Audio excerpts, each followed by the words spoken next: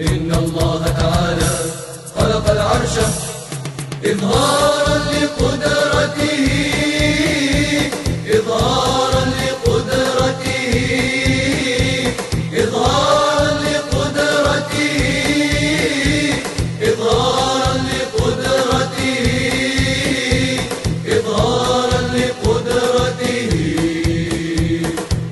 لم يتخذه